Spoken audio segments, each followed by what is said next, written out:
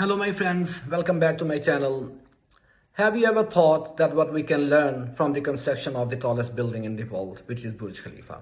This is Burj Khalifa, constructed in just 6 years between January 2004 and January 2010. Standing tall at 828 meters, it crushed Taipei's 101 record by staggering 319 meters. This wasn't just a progress, this was a huge leap of 62%. All the tallest buildings that existed before Burj Khalifa, they were taller than the previous record holder between 5 and 19%. The 162-story skyscraper contains offices, retail space, residential units, and an Armani hotel. So how did they pull this off? What were the key challenges? What are the implications for Dubai, UAE, and other governments around the world? What are the key takeaways for business students, entrepreneurs, and business organizations?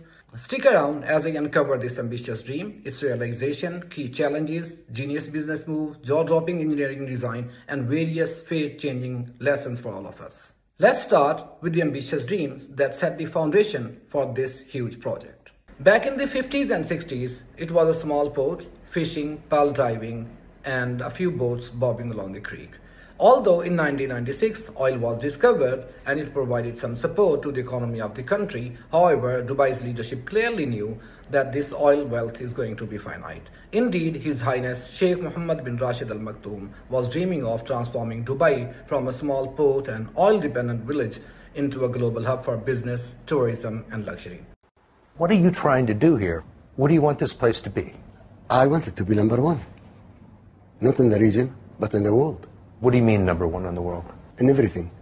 High education, health, uh, housing.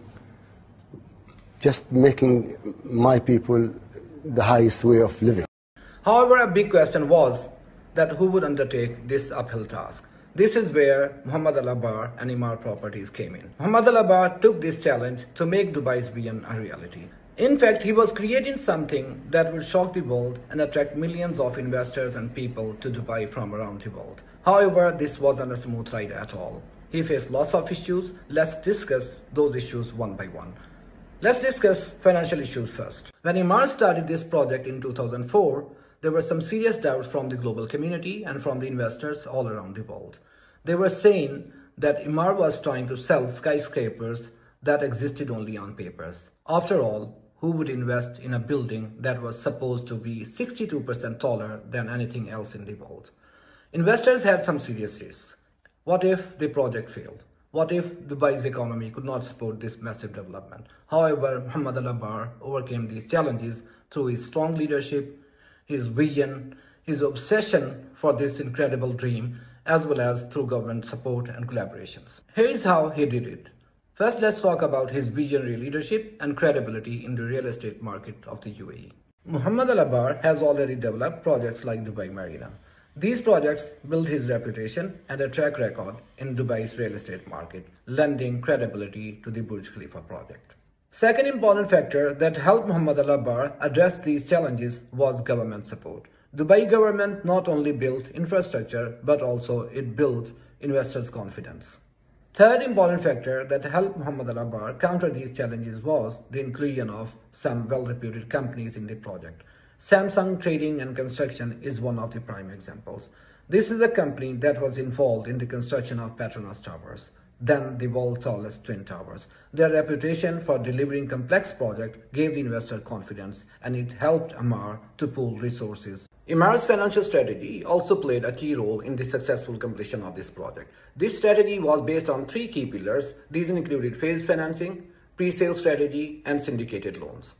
Phase financing. Instead of securing all the loans upfront, Emaar used phase financing scheme, where initial investment was used to kickstart the project.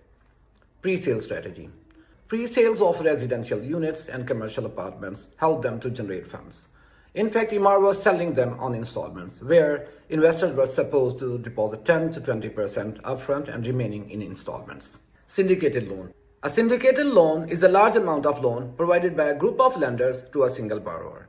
This spreads risk across multiple lenders and allows for massive funding that no single lender could provide alone. Fixed price contract was a vital part of Emaar's financial strategy. Emaar wanted a contractor that could commit to a fixed price contract, which is uncommon for such huge projects. Unlike cost plus contracts, where any kind of cost overruns are afforded by the client, Here, it was Samsung Construction and Trading that would afford all the cost overruns. Marketing Dubai as a global business hub also played an important role in the success of this project. Emaar positioned Burj Khalifa as a symbol of Dubai's rise, attracting global attention. The tower was marketed not just as a building, rather as a tourist attraction, luxury destination, and engineering marvel. This contributed to the success of this project. As I mentioned in my previous video, that in the Great Recession of 2008, prices in Dubai fell by 50%. Dubai was in deep trouble. Abu Dhabi had to intervene and bail them out. However, this reassured investors and banks that this project would not fail.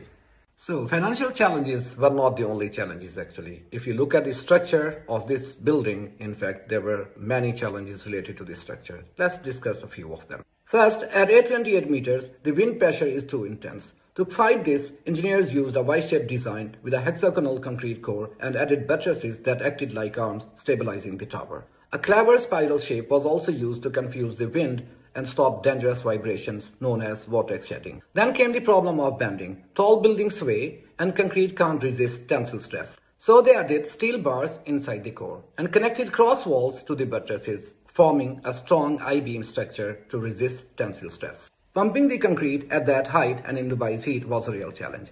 To address this challenge, world's largest concrete pouring pumps were made and they also used special ice-cold concrete and that was only poured at night. If you think that the challenges are over, you are mistaken. What about the ground? Dubai's soil is weak and salty. Instead of digging for rock, they laid a massive rock foundation supported by 194 deep concrete piles these don't push against rock, rather they grip the soil using friction. Importantly, to keep the building light near the top, the top 25% of Burj Khalifa is made of steel, no concrete at all, which flexes better during strong winds. So my friends, this is the story of Burj Khalifa, a project that turned a dream into the tallest building ever and a record that is still unbroken. Every part of Burj Khalifa, from its base to aspire, was designed to solve a problem. It is the symbol of creativity, innovation, resilience, and great leadership. This is not just the tallest building, rather, this is one of the smartest structures ever built. What governments, business organizations, leaders, entrepreneurs, and business students can learn from this leadership miracle and engineering marvel, wait for and watch my next video.